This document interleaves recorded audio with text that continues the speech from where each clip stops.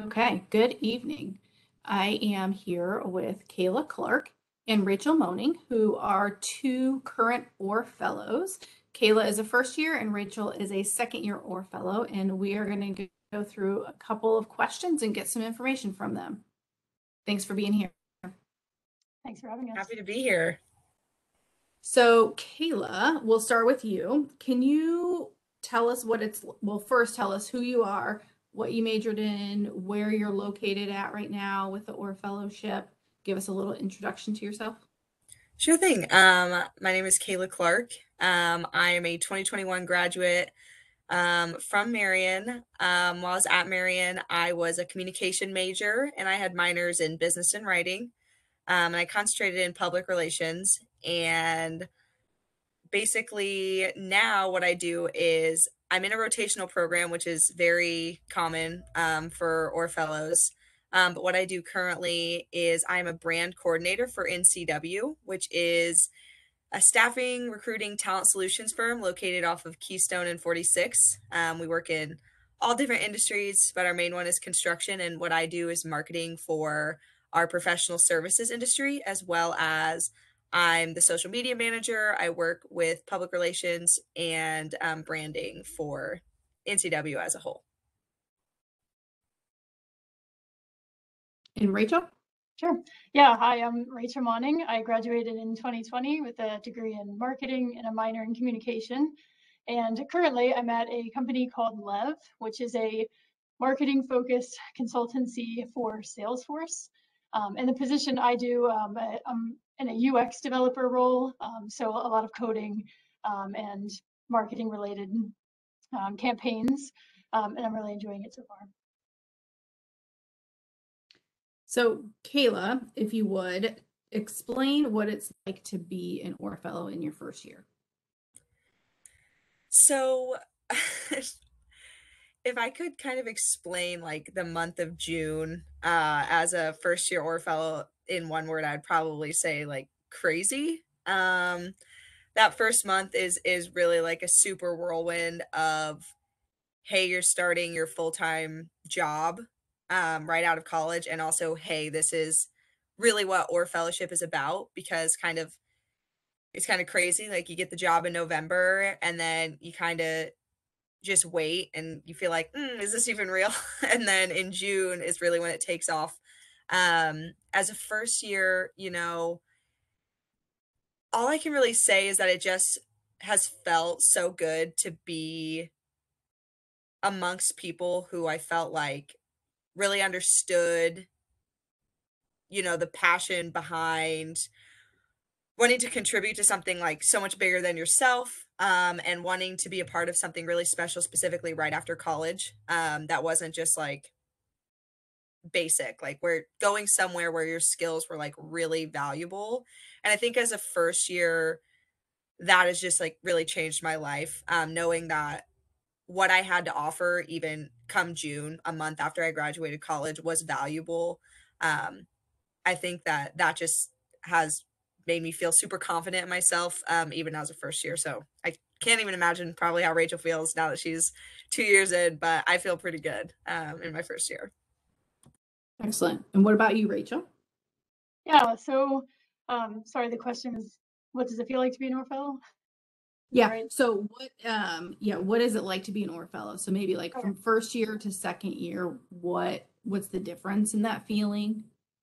Yeah, um, just a lot of it comes down to um, getting more comfortable. Um, so the first year it is a little bit chaotic, but at the same time, it's also kind of like being back in school again because you are surrounded by people. Like what Kayla said, everyone is, you know, pretty like-minded and and has uh, the same goals in that moment that they're working towards. And um, everyone obviously has a job too that they're also doing at the same time.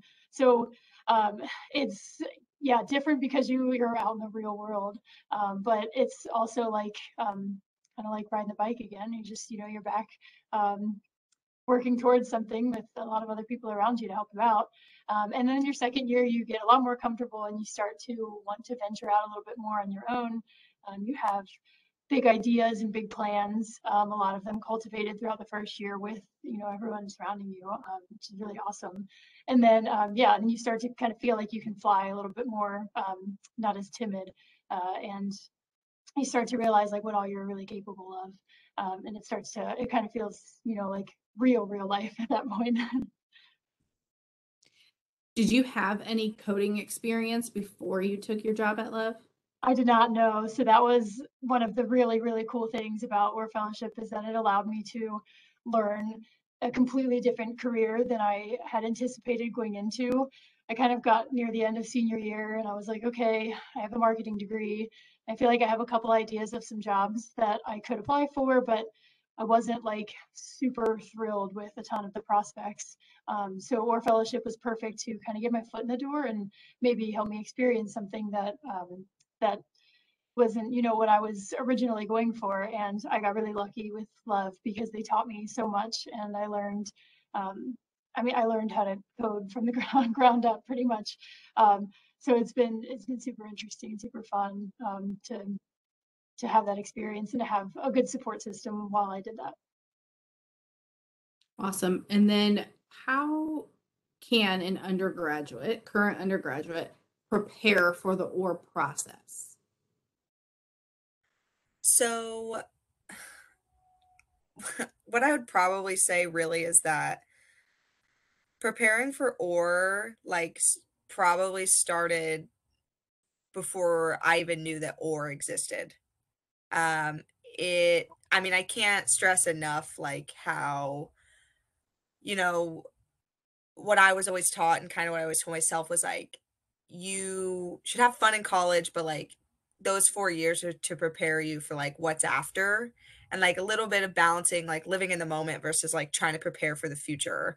Um, so like the Capricorn in me is like, eh, like my you probably should have started like a couple years ago, but nobody knows maybe what Orr is or you're not really thinking about it until probably junior year. So the first thing that I would say, like for someone who's just now finding out about Orr, would be reach out to somebody. Um, if you go to our website, um, orfellowship.org, you can basically find people from your university, basically either current fellows or alum. Um, and this is something that I wish I had done um, before senior year, was basically reach out to them and ask them like, you know, how did you find out about this? What was it like? Um, like, do you have a minute to talk? Um, it's difficult to get out of your comfort zone in that way but it's those like little connections that I think specifically with current fellows that really make or break, you know, your I don't want to say success in the program, but just remembering who you are, right? Like if you're reaching out to us and you show us that you're interested, we're going to call that back and be like, "Oh, they're really, you know, interested in this. They care about this. They're not just looking for like a quick job." Um so that would probably be the first thing that I would say. Um, and then obviously, Brandy, you know I'm going to say go to the exchange. Like I, I told a lot of my candidates that. Um, I, you know, I I couldn't recommend it enough. I mean, I probably went like a million times, um, even before senior year. And I just think no matter what, getting that resume looking tip top shape no matter what stage of college that you're in is is going to be helpful and especially for Orr i probably wouldn't have even made it past the first lord i probably wouldn't have even made it past the first checkpoint with the resume i came in with originally so What about you, Rachel? How do you think that an undergrad, or how did you prepare, or what advice might you have for current students? Yeah, so my advice, um, I told everyone this when I was doing a lot of recruiting my first year. Um, one thing that I did that for whatever reason, I mean, it was everyone talked about it, was I just did this Google Analytics for beginners course, which I think it might be required now for business students. Uh, but just like little things like that, something kind of tangible. It doesn't have to take that long. The Google Analytics one was like maybe six or seven hours, but it was something that I could put on my resume that looked like a legit kind of certification or something that, you know, was very professional. That wasn't just, you know, my internship experience or, you know, a high school job or something like that, that I could actually put on my resume and speak to um, to you know learning a new skill and then kind of along with that um, i started to really start paying attention to um, business news and all of this kind of um, related to my major. So um, being in marketing, it kind of had that, that leg up. Um, if you're someone who might not be in business, um, might be a little bit harder to get into something like that. Um, but just because a, a, lot of the jobs in Orr do kind of sway that way, um, it just made sense to kind of um, know what you were getting yourself into and start to like know what to listen for and, and talk about. And then finally, I would say getting into networking as much as possible. Um, a lot of the first kind of few rounds of um, or uh, or of applying for it is our networking events. So um, taking advantage of networking nights, if that still goes on, um, any kind of mock interview, um, partaking in competitions. I know um, in the business school, at least we had uh, sales competitions and negotiation competitions and things like that. And a lot of those you can, when you go, there's a bunch of other schools there and people you can network with, and it's kind of low stakes there where you can just you know start getting comfortable going up to people and talking to to people you wouldn't normally you know maybe be comfortable going up to um, kind of like how i was. Um, but i think that'll definitely give you a leg up. That would be my my advice. When you say that you start to follow business news mm-hmm. linkedin new like you like linkedin feed following businesses in indianapolis that kind of stuff like the ibj just watching the news? What types of things would you suggest? Yeah, there are so many options out there, and I know that um, some sound a lot more boring than others. I discovered uh, Morning Brew when I was a junior, senior.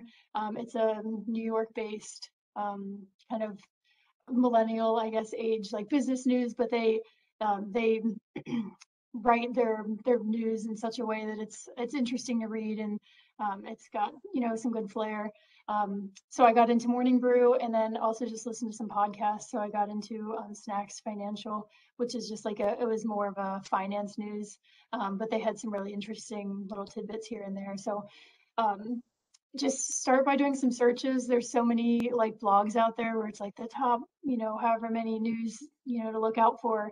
Um, and just kind of you can usually find something to, to tailor it there. And at the very minimum, um, if you're on LinkedIn, they do have like a little, you know, usually a, a daily rundown where it's like the top five business stories. And even just starting there to like start to kind of figure out what the flow of news is is big too. And then that way it makes it easier to digest other news down the line. Excellent. Thank you. And then, Kayla, what ultimately led you to choose becoming an Orr fellow over job searching in a traditional job? So, part of the reason that I wanted to go for Orr fellowship was because of the challenge of Orr fellowship in itself. So, there there are many benefits to Orr, right? One specifically being that you solidify a job in November. So it's one of those things where it's like, even if it hadn't worked out per se, like I would have still had time. And so I wasn't really putting all my eggs in one basket, even though this was a basket that I really wanted. um, but yeah, I think just the fact that only like six to eight percent of total about 1200 applicants um, get accepted, I kind of just knew that the process would put me with people that understood I don't want to sound like silly saying this, but the grind, right? Like all this energy that I've been putting in to prepare myself for the future over the last four years and all the things that I gave up, right? All the things that I did. I knew that the people in this group, when they were narrowed down, really understood that. And kind of going back to um this point of like confidence right? You know maybe i didn't have a lot of confidence in myself but i truly felt that you know if i can make it through this process and someone chooses me then like clearly there's i've got something to offer that like i can't even see in myself at this point right? And just the whole process i think made me feel like my skills are actually really valuable and I'm not going to go do something that I don't really want to do. So like I think like a lot of what I was a lot of my anxiety was I'm going to go to school for 4 years and this is what I want to do and then it's going to come time especially like I know Rachel graduated like pandemic pandemic. I'm like sub pandemic. um but like sub pandemic I was like, well what is even out there? How do I get started? And it was like, Orr was just like, check, check, check, check, check. We're going to do this, this, this. It was almost easier, really, in the long run, I think, looking back. I don't want to say easier, but like it was kind of easier, like looking back than it would have been to like do it normally. I just think it checked all the right boxes for me being with people who were driven, motivated, um, people who were outgoing. Um, and that's kind of why I applied. What about you, Rachel? Um, yeah, so a lot of the same reasons. Um, and probably the main one, just to be extremely blunt, it was like because it's so early, the application window was like one of the first ones that I applied for. Um, and I had a good friend of mine who really pushed me to do it because for so long I was like, oh, it sounds too good to be true. I don't really know. And he finally was just like, just do it. It's easy to, you know, the first step is so easy. It's, yeah, a couple minutes, if that. Um, and then as the steps went on and as I met people through networking events and just learned more about it, um, it just definitely felt like the right path. Um, and the the opportunity to learn something completely new and different, I think I, I can go back and say that's one of the biggest um, my one of my biggest takeaways is that yeah, there's there's no way I probably would have gotten into developing had I not done Orr fellowship, um, and I'm really excited to kick off a career in it. Excellent. So, last question for you both. How have you grown professionally over the past year and over the past two years? So, one thing that I have been routinely challenged with um, since I started working with NCW um, is finding the strategy behind my ideas. I think um, I was a content marketing intern for the Marian marketing department for like two years while I was at Marian. And a lot of what I did there was like help create content, help go get pictures of students and you know all of the these just idea idea idea oh this would be fun oh this would be cute oh i'd really like to do this and we could kind of make it happen right because i was just an intern at that point and one of the ways i feel like i'm growing now is without that like hand to hold and i walked in I was an intern, a social media intern. I walk into a job for the first time. They're like, "You're the manager." I'm like, "Oh, okay. I don't really. All right." Like imposter syndrome a little bit. And where really where I'm growing is just the strategy behind what I'm doing. It used to be, well, let's do this because I like it.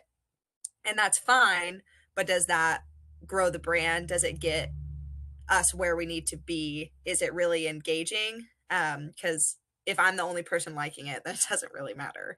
So I think where I've grown exponentially is this oh like this question of so what? Um i you know pose to myself quite a bit um, when i'm creating content and i think it's helped me in a sense that now i can actually put those numbers on a resume and i can say like i helped with this very specific goal. Um, and obviously when i was an intern i didn't really have those numbers and i think professionally that's really what people are looking for and aside from developing rachel how have you grown professionally um, yeah i would say i could kind of sum it up in um, in one word really in communication um, and then networking kind of on top of that but they kind of go together um, but i think learning how to feel confident in like who I am and what I know has really given me the ability to communicate a lot better and to not be so afraid to network and, and put myself out there. I find that I'm, I'm usually a pretty shy, reserved, reserved person. Um, so when it comes to networking, I really have to push myself, but I feel like it's less of a hurdle at this point. I feel like I've just I've learned so much in in how to carry myself and and you know view others um, that I don't feel so so scared or nervous anymore um, when reaching out to someone new. And I think we're all just trying to find our way in the world. So, yeah, the one thing that life has taught me is that nobody has a clue what they're doing. Everybody is in the same boat with no clue what they're doing, and and we're just working toward towards something. something, yeah, amen. yeah, and then someone asks you what that something is and you're like i don't know how to explain it to you Mhm. Yeah. So I really appreciate your time. I'm going to stop recording